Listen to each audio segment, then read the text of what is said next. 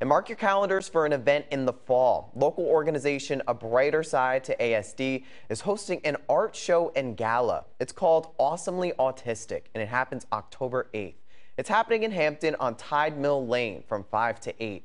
It's a chance for people on the autism spectrum to shine bright as well as display and sell their amazing art creations. They'll also have a DJ, raffles, plenty of entertainment, and an atmosphere of love and acceptance. After the event, the pieces will be on display at the New Newsome House Museum and Cultural Center until November 12th.